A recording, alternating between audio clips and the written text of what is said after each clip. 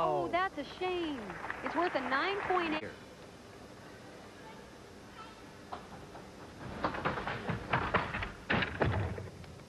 There you go. That's the vault she hoped.